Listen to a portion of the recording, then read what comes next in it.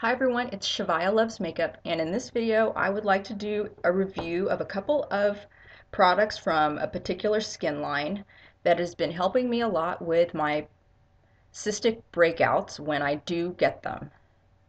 Cystic acne is a theme that I've talked about through many of my videos on this channel. I know it's hormonal, for me at least. Um, I do think it can be exacerbated by stress. And the third thing that people often tie to cystic acne is diet. Uh, they say so the general a general comment is that di- um, dairy exacerbates cystic acne, and people have done an elimination diets to see if that is really the case. I don't drink milk, but um, I drink soy milk and almond milk because that's what my daughter likes. But there is no way I can realistically take out cheese from the diet, my diet, or take out gluten.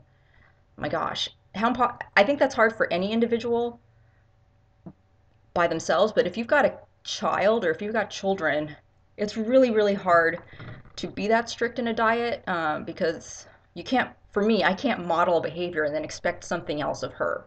And so I'm not going to eat bread she loves bread and that's part of like our culture as a family is we're going to eat bread sandwiches. She's at an age where she is still figuring out what she likes in terms of food. I certainly don't want her to get to the more picky spectrum of things so i want to keep the food range as open as possible so i don't think an elimination diet is going to work for me because i've got a family to consider. Um, i also don't find it realistic at all. If i could i would go dairy free but gluten free seems a little bit um, drastic. If you have opinions on that part from this video, please let me know below. If you've had good experiences with going gluten-free, dairy-free, and it's really helped your cystic acne, please let me know. I know the one thing that really really works is Accutane. Not gone on Accutane. Uh, another thing is probably birth control because that regulates your hormones. That's a consideration. So also please let me know, have you done those two things? I have been on um, birth control before, and it's hit or miss. Sometimes, if you get the right uh, birth control with the right amounts of whatever hormones you need, it does work. I recall that prior to having my daughter. I'm on a different birth control, not the oral contraceptives that, that I'm talking about that are supposed to help. So I might consider going back on the oral contraceptives to see if that works. But my cystic acne is just something that I can count on to be exacerbated uh, during that time of the month, quote unquote, and stress related, exacerbated. Now, uh, these two products, I would like to give credit to Pink to Paris. Her name is Brooke.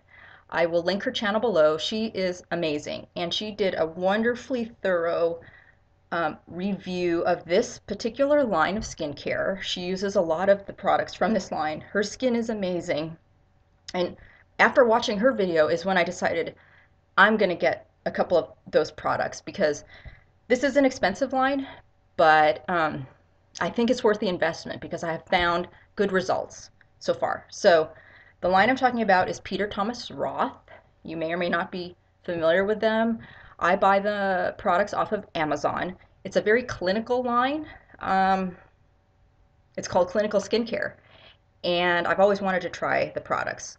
The ones that I'm using right now are the Max Complexion Correction Pads.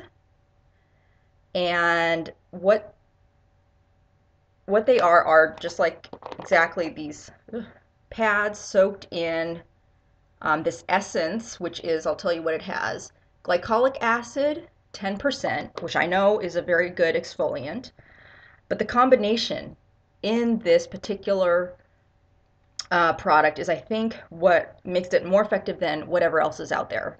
Because it's got a combination of not just the glycolic acid 10%, it's got 2% salicylic acid, acid, which in and of itself for me does not work. Uh, my skin has stabilized to just not be, not react to salicylic at all. But maybe salicylic acid works well because it is um, like a conduit or something, because it works well with this. And it just, and it has um, there's a high amount of alcohol, but I whatever. It seems to work. So this complex of glycolic acid, salicylic acid, and this is the clincher too, is it has a lot of soothing elements in it so it's not over drying your skin and creating a hot red mess on your hot red cystic acne anyway. It just makes it worse. When you dry out cystic acne, it seems to get angrier. So you need something that is a, has some something that will be effective and get down deep into the pores, but also that you usually have to use a moisturizer or something soothing, but this already has that inherently in it. Um, it contains aloe vera, extracts of chamomile, and green tea, just to name a few of the soothing properties. There are more. Uh, it has some sort. This is an artificial scent. It's a uh, it's called peach bellini. I like it. Doesn't bother me. It's very very mild. It's a clinical line, so it smells a bit clinical to me. Uh, that goes away very quickly. This is, pardon me, this is uh, marketed for norm, normal to oily skin types or problem skin. That's me, problem. Problem skin. So um, this is 60 pads. I don't, again, recall the prices. If you just go on Amazon, get the best deal you can, it's still going to be expensive, but I think it's worth it. I was amazed because my skin has, I use a lot of different, I've used Retin A and tretinoin creams. I still do that a couple days a week and then I alternate and use this probably once or twice a week because it's so strong. It really, really is, which tells me that it's effective because my skin has been through years of acids, acid treatment, so it's not sensitive to anything.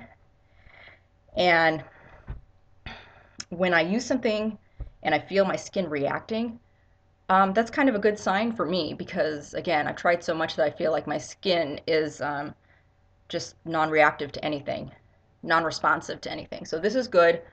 I feel like I when I use it, not every day, and my skin doesn't get too accustomed to it, it will, um, if I have any cysts, it will really shrink them quickly. It won't, it's not a miracle. It won't make them go away. I'll still have the cysts, the cysts, but then I put this on top, which Brooke talks about. It's the Peter Thomas Roth Acne Spot and Area Treatment. So this is for spot treating after I put on the pads, let that soak in. This is, I again, I think what is working because it's a combination. This has 5% sulfur. So if you go on acne.org or if you go on, I don't know, whatever, discussion boards about acne, people may say how, there's a lot of people that say how effective sulfur is for spot treating. So you've got sulfur, ben, benzoyl peroxide, salicylic acid, you've got all these different things. Sulfur is one that isn't talked about as much. It doesn't smell great. I can't recall. It, this doesn't smell too bad for a sulfur product. 5%. Again, what I think Peter Thomas Roth has got down is the um, combination uh, that really is working in the formula. This has vanishing sulfur, 5%, with a glycolic acid complex of 4%, and those soothing properties of aloe vera, it's got vitamin C and vitamin E and provitamin B5. That's a lot to claim, but I think it works really well as a spot treatment. Um, I had a cyst right here, and um, I used the pads and then I put this on and the next day it did shrink significantly. I could tell the difference. Now again, it's not a miracle. I had to use it a couple days in a row, but it did shrink it without drying it out like benzoyl peroxide does, which just dries your skin out.